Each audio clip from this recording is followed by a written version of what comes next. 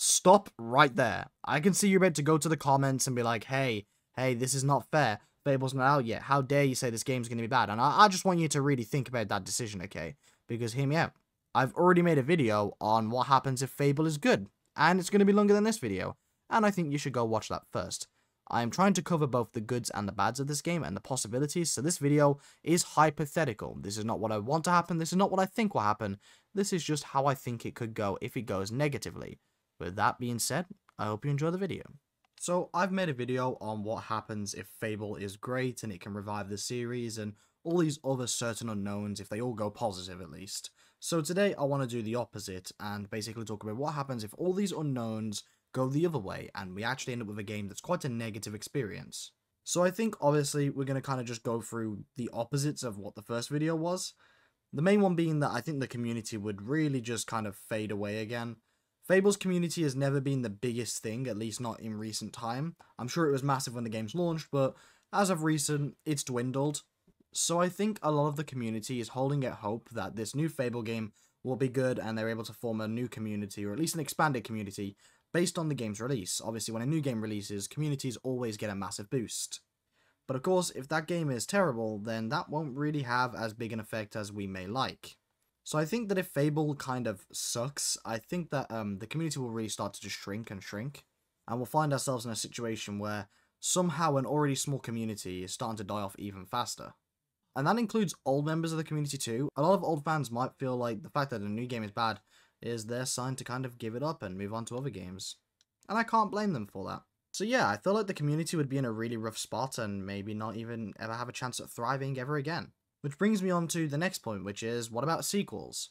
Honestly, if this game kinda sucks, I think our chances at sequels are minimal. I don't think it's impossible, as I say, Playground has now at this point hired a Fable team. There is a whole team dedicated to just Fable games. So I feel like if they only planned on making one game, they probably wouldn't have hired a whole team for it, so maybe that kind of safeguards a sequel. However, the budget for that, the scope for that, and how much they plan to change in the future is the big unknown there. Maybe a sort of silver lining is the fact that even if the game does perform bad, remasters might still be possible. I think our chances of getting remasters will be a lot higher if the game is good, of course. But I think that one flip side of this is that if the new game is bad, you'll see a lot of people crying out that the old games are better. A lot of fans will be wanting to remaster it, and if uh, Xbox do want to genuinely invest in this uh, IP's future, um, I don't think remastering the old games is a bad way to go. If the game doesn't sell too well, that also brings in a whole host of different issues. If a game is received poorly, it's one thing, but if it sells poorly, that's totally different. Xbox have made it very clear that they do not care when it comes to cutting studios. I mean, look at the creators behind Hi-Fi Rush. They made a banger game that sold well, and they were like, yeah, we'll just give you the cut anyway, because why not?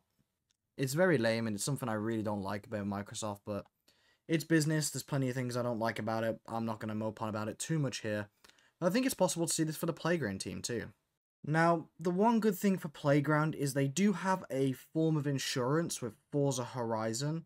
Luckily, those games always perform quite well and have been quite good, so I don't think it'd be very likely that the entire team could get shut down. Remember how I was like, oh yeah, they'll have to make a sequel, they've got a Fable team. Well, it could just be the case that Xbox decide to shut it down. Obviously, there's so many different things that can happen if the game does bad. So maybe they will just force them to churn out another game, or to be honest, they could very much just shut down the entire studio. Or at least the team. I don't think Playground would be uh, hitting the chopping block anytime soon. Man, I can... I, I, I do not want to go over there. That looks terrible. So yeah, I think the kind of scary thing is, I don't really know whether if the new game did bad, how the franchise would go. I mean, as I say, it could be possible that they decide to just go and make a bunch of remasters and ask the team to do a sequel and hopefully make it better, maybe on a more restricted budget. Or they could just go, nah, this isn't working, Fable isn't working, shut down the dev team, shut down any sort of remaster possibilities, shut down any sort of sequels, and just kind of recoup their losses. This really is the scary thing when it comes to game dev. There's so many unknowns, and it's just so hard to predict what could happen.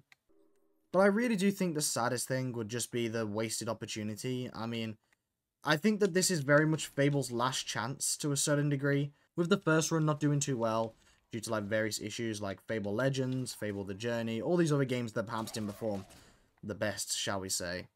I think it puts Fable in a very 50-50 spot. If the reboot is good, I think it can fully reaffirm itself as needing a place in this community of gaming.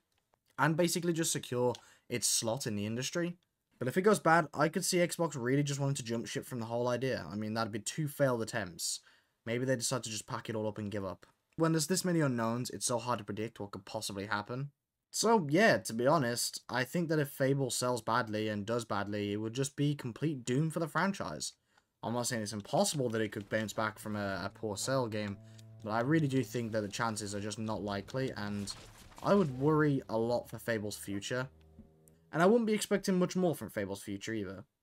But I think the saddest part is, um, I think it would disappoint me a lot, and I think that, uh, I'd really question if this is all worth it, especially after such a big year wait. There's a lot of expectations.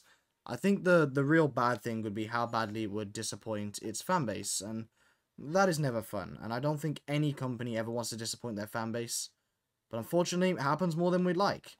So hopefully this never happens and Fable is amazing, but yeah, it's all very much possible. Anyways though, thank you guys so much for watching. I know this one's on the shorter side again, but um, I've been making so many long videos recently, I'm like, I, I think these guys are probably sick of hearing me talk. I do have some other content on the way that's not Fable related, and I've done a lot of Fable videos, so hold out for that if that's what you're waiting for, and I'll see you soon.